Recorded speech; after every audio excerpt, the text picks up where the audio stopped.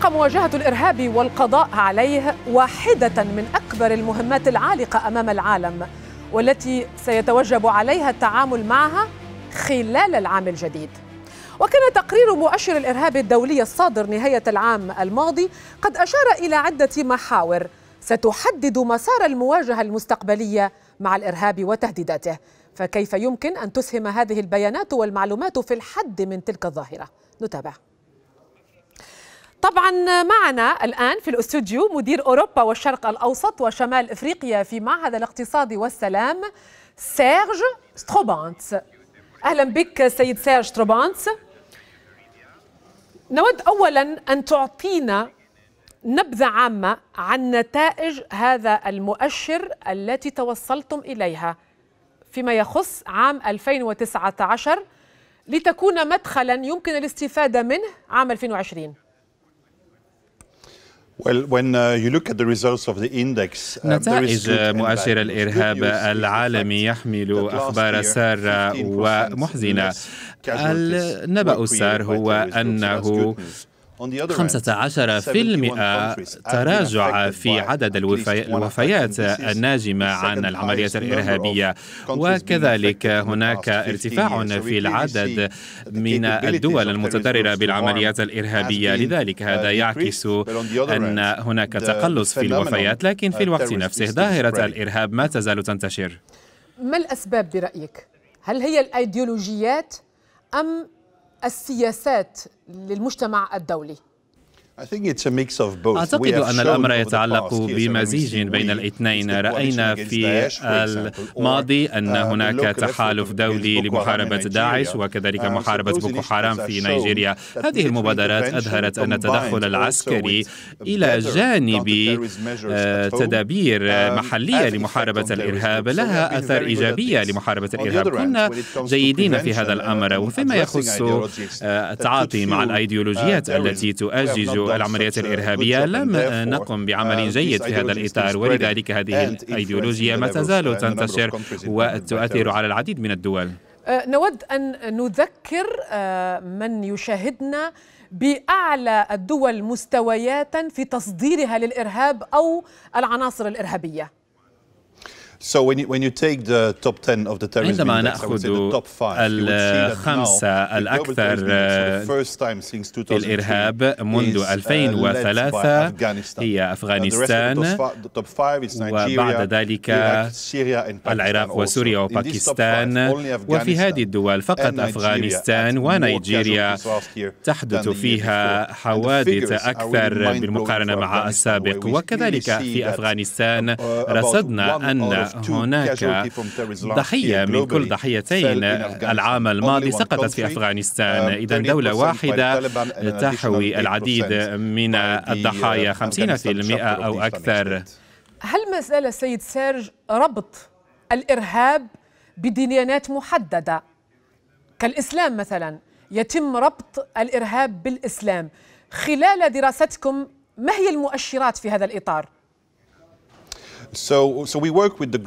نحن نعمل مع قاعدة بيانات الإرهاب العالمي والتي هي مطورة من قبل الاتحاد الوطني لدراسة الإرهاب والردود المصممة لمواجهته وهو يتحدث عن أربعة أشياء الحوادث والضحايا إصابات وقتلى وبالإضافة إلى هذا المنشآت التي تتضرر فيما يخص الحوافز هي مختلفة ومتنوعة والأمر يتعلق بالمكان الذي يستهدفه الإرهاب. إذا نظرنا إلى الغرب مثلا سنجد أن هناك عنفا سياسيا والشعبوية ما تزال دافعا قويا لاستخدام الإرهاب أكثر من الدين. وبطبيعة الحال في الأماكن المتضررة بالإرهاب صحيح أنه هناك رؤية وتأويل معين للإسلام أو الإسلاموية هو في قلب هذه الحوافز والتي تؤدي إلى الإضرار بالمجتمعات. وكذلك هناك بعض الأماكن مثل الشرق الأوسط وساحل أفريقيا. طيب طريقة معالجة الإرهاب الآن وفق هذا التقرير. برأيك أين ينبغي التركيز؟ وفق نتائج هذا الاستطلاع أو هذا المؤشر الجديد لعام 2019 أين يجب على الدول تركيز جهودها؟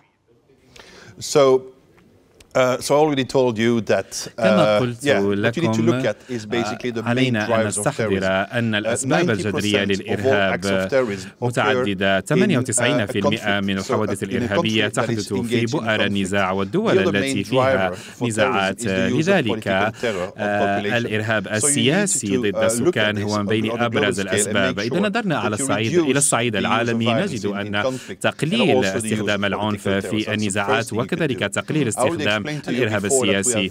ونحن جيدون في الحرص على أن لا يكون هناك تنفيذ للعمليات الإرهابية بشكل تقليدي لكن لا أحد يمكن أن يتنبأ بمتى يحدث وأين يحدث هذا الإرهاب؟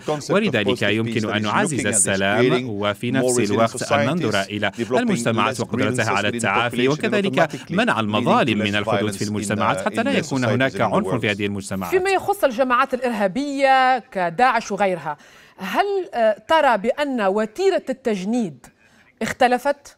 آه، ما مستويات التجنيد الآن إذا قارناها بما كان يحدث سابقا إن كان من شمال إفريقيا أو من أوروبا أو دول شرق آسيا؟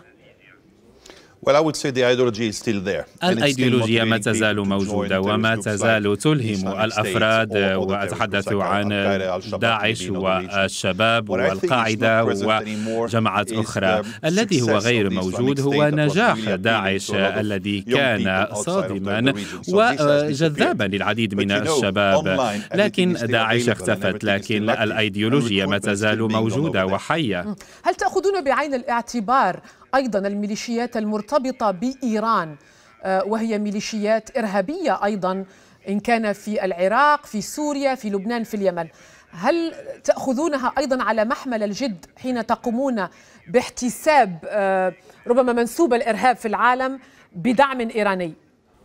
So, so what we do, and that's the definition we use to compile the global terrorism database. تعريف الإرهاب. نحن نركز على الفاعلين من غير الدول لا ننظر إلى الدول. ولذلك في هذا المعهد للاقتصاد والسلام والذي يصدر أيضا مؤشر السلام ننظر إلى كل أشكال العنف الموجودة في العالم. وإذا ضمنا ذلك في هذا المؤشر فإننا سننتج كل سنة في أيضا عن التمويل؟ هل تبحثون عن آه، يعني طرق تمويل هؤلاء. ما الذي يمكن أن تفيدنا به سيد سيرج في هذا الإطار؟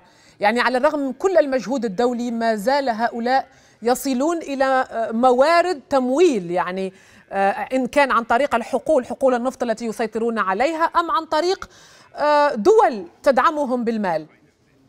Yes, so uh, exactly that's what that's what we do also. نعم, couple of years هذا أيضا نفعله قبل uh, بضع سنوات أحد المؤشرات وخصوصا في ذروة نهوض داعش. كان هناك ميزانية لديهم بمليار دولار سنويا وكان هناك بعض الممولين الذين يقدمون uh, تمويلات من مختلف أنحاء العالم.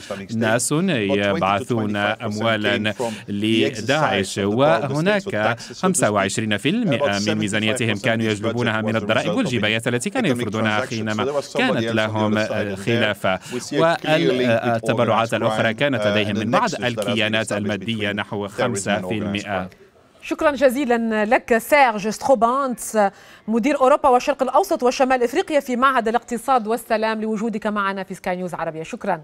Great pleasure.